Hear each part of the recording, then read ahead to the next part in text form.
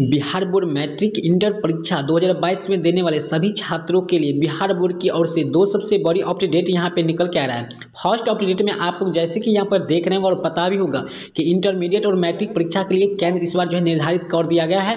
वहीं में आपको सेंटर केंद्र के यहाँ पर कैसे आप देख सकते हैं, उसका पीडीएफ आप कैसे डाउनलोड कर सकते हैं अपने मोबाइल में। साथ ही आपको बताऊँगा मॉडल पेपर के बारे में और आपको इसमें बताने वाले हैं कि जो भी छात्र दो हज़ार चौदह से लेकर इक्कीस तक में पास कर चुके हैं, उनके लिए भी यहाँ पर बिहार सरकार के द्वारा कुछ योजनाएँ दिया गया है, जिसमें उनको प्रत्येक महीना, यानी प्रत्येक महीने उसको एक हज़ार रुपया भी मिलने वाला है। तो सारी चीज़ पर हम डिस्कस करेंगे इस वीडियो में तो इस वीडियो को इन तक देखिएगा, काफ़ी चीज़ इस वीडियो में मिलने वाला है। तो चलिए हम सबसे पहले बात करेंगे न्यू अपडेट के बारे में। जैसे कि आप लोग यहाँ पे देख रहे हैं इंटरमीडिएट परीक्षा के लिए चौवन और मैट्रिक परीक्षा के संतावन केंद्र का निर्धारण इस बार किया गया है। वही मैं बात करूँगा तो पिछले वर्ष से काफ़ी कम केंद्र इस बार चुना गया है, लेकिन कारण इसका यह है कि काफ़ी विद्यालय में जो केंद्र बना था, वहाँ पे चोरी जो चला था, यानी नियम का जो है पालन नहीं किया जाता, जिसके वजह से काफ़ी विद्यालयों को इस बार जो है सेंटर नहीं बनाया गया है और कदाचार मुक्त एग्ज़ाम हो यानी परीक्षा हो, इसके लिए बिहार सरकार की अभी से ही पैनी नज़र है। तो इसके लिए आपको यहाँ पर चौवन केंद्र बनाया गया है, इंटर में, जबकि मैट्रिक में यहाँ पर संतावन केंद्र।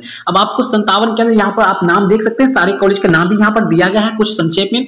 तो आप इसकी जानकारी यहाँ से आप ले सकते हैं, ये आज का ही पेपर में दिया गया है। वैसे में आपको पीडीएफ कैसे डाउनलोड करना है, ये विधि मैं इस वीडियो में बता दूँगा, जिससे कि आप इसका पीडीएफ भी डाउनलोड कर सकते हैं। अपने मोबाइल में और आसानी से देख सकते हैं। अभी कोई भी इस तरह की इस तरह की अभी फाइनल डेट नहीं आ चुका है कि किस छात्र का, किस विद्यालय के कहाँ पे सेंटर किया गया, ये आपको आ जाएगा दिसंबर के लास्ट मंथ तक, ये चीज़ भी आपको जानकारी मिल जाएगा। तो इसके लिए आपको इस चैनल से सबसे पहले जानकारी मिल जाएगा बिल्कुल सही विश्लेषण के साथ। तो इसलिए इस चैनल को आप अभी से सब्सक्राइब करके रख लीजिए और वीडियो को लाइक नहीं किया तो लाइक बनता है, वीडियो को लाइक भी कर दीजिएगा। वही मैं बात करूँगा जो भी छात्र अभी तक, यानी जो इक्कीस दो से लेकर वहीं मैं एक नज़र में यहाँ पे बात करूँगा। आर्थिक हाल युवाओं के बल। यानी 2014 से लेकर 21 तक जो भी छात्र इंटर पास कर चुके हैं और अपनी पढ़ाई छोड़ दिए हैं तो उस उन स्टूडेंट के लिए काफ़ी बिहार बोर्ड की ओर से तोहफा मिला है और काफ़ी बच्चे को मिल भी रहा है।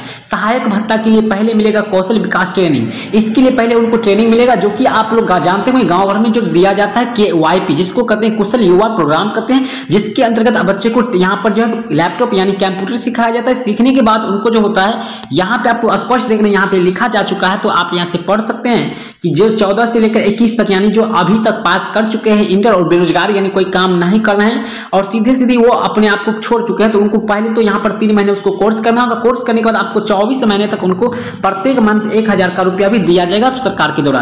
तो ये भी काफ़ी अच्छा चीज़ है तो इसलिए इस वीडियो को ज़रूर उस बच्चे तक पहुँचे जो पढ़ाई छोड़ चुके हैं किसी कारणवश।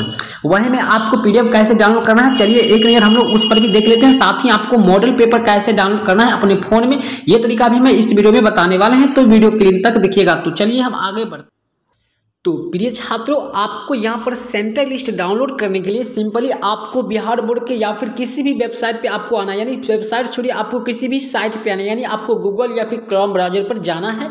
जाने के बाद आपको यहाँ पे सर्च करना है। यानी सर्च करना है, आप अपना सेम चैनल का नाम दे सकते हो। यहाँ पे अगर आप चैनल का नाम से आप नहीं खोजना चाहते हो तो आप दूसरा नाम भी यहाँ पर देख के खोज सकते हैं। आपको क्या करना है? सिंपली यहाँ पर जो मैं लिंक आपको डिस्क्रिप्शन में दे रखे हैं, उस लिंक पर आपको क्लिक करना है। या फिर हम यहाँ पे कॉपी कर चुके तो यहाँ पे हम लोग पेस्ट कर देते हैं। सीधे आपको एक क्लिक में यहाँ पे क्लिक करेंगे। आपके सामने यहाँ पर देखिए डाउनलोड होकर आ चुका है। सिंपली आपके सामने यहाँ पे आ चुका है। आप देख सकते हैं किस जिला से कौन सा विद्यालय को इस बार सेंटर बनाया गया है। इस तरह की और भी जानकारी आपको यहाँ से मिलते रहता है तो आप इस चैनल को ज़रूर ज़रूर सब्सक्राइब कीजिए। आपको मॉडल पेपर कैसे डाउनलोड करना है। एक झलक हम लोग उस पर भी डिस्कस करते हैं। तो आपको मॉडल पेपर डाउनलोड अगर अभी तक आप नहीं कर पाए हैं तो ऑलरेडी उस पर भी वीडियो यहाँ पे अवेलेबल हो चुका है, यानी अपलोड हो चुका है, आप नहीं देखें। तो बगल में आए वीडियो को आप देखें, या फिर ऊपर आए बटन पर क्लिक करके देखिए, या फिर लिंक डिस्क्रिप्शन में वहाँ से आप देख सकते हैं। बिल्कुल आसानी से आप डाउनलोड कर सकते हैं। जैसे कि हम यहाँ पे एग्ज़ाम्पल में आपको यहाँ पे अभी डाउनलोड करके दिखाएँगे आपको। सेम हम लोग बैक जाते हैं बैक जाते हैं, यहाँ पर हम लोग बैक जाते हैं। बैक आने के बाद आपको सिम पर यहाँ पर सिम पर वही फिर से सर्च करना है। क्या करना है? तो यहाँ पे आप लोग देख इसके लिए आपको क्या करना पड़ेगा? सीधे आपको डिस्क्रिप्शन में जाना है, जहाँ से आपको एक लिंक मिल जाएगा, जिस पे आपको क्लिक करना है। क्लिक करने के बाद जैसे कि हम यहाँ पर देखिए, हम यहाँ पर सोशल साइंस का आपको मॉडल पेपर डाउनलोड करके दिखाते हैं। हम कब, हमने यहाँ पे पेस्ट कर दिए हैं कॉपी किए हुए थे लिंक और यहाँ पर क्लिक करते हैं। क्लिक करने के बाद आपके सामने डायरेक्ट यहाँ पर डाउनलोड होकर आपको आ चुका है तो आप आसानी से यहाँ पर देख सकते हो। जैसे कि देखिए, कुछ देर में आपके सामने यहाँ पर देखिए बाइस करके आपका मॉडल पेपर यहाँ पर आ चुका है तो आप आसानी से यहाँ से डाउनलोड भी कर सकते हैं अपने मोबाइल में। डाउनलोड करने के लिए आपको यहाँ पे क्लिक करना होगा डाउनलोड यहाँ पे ऑप्शन दिख रहा होगा। तो चलिए इस वीडियो में सारा चीज़ आप समझ गए मिलते हैं नेक्स्ट वीडियो तब तक के लिए बाय धन्यवाद।